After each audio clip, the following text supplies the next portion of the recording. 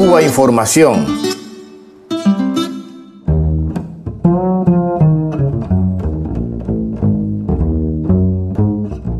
En noviembre, el Parlamento Europeo aprobaba una resolución de urgencia por 325 votos contra 240 sobre la situación de derechos humanos en Cuba. Parecen los últimos exceptores de quienes aún defienden la llamada posición común europea sobre Cuba, que acaba de ser liquidada.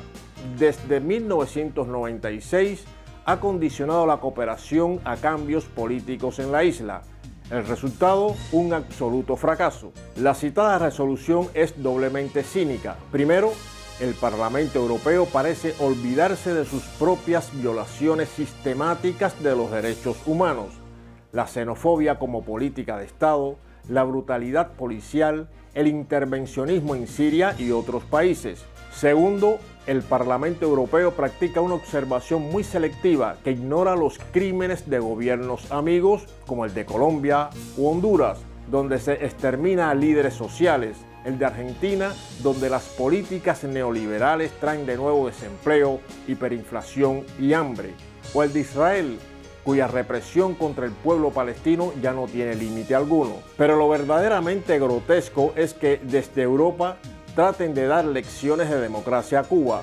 porque ¿cuál de las constituciones de la Unión Europea ha pasado, como en la isla, una consulta popular de tres meses en la que ha participado la inmensa mayoría de la población?